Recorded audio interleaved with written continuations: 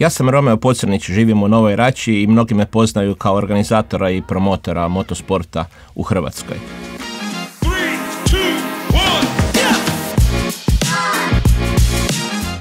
Već 25 godina jedan sam od glavnih organizatora moto utrke u Novoj Rači, Nora Race, te začetnik Nora brenda. Stvorili smo jedan drugačiji brend, ne samo na području Hrvatske, već i europske motokarte.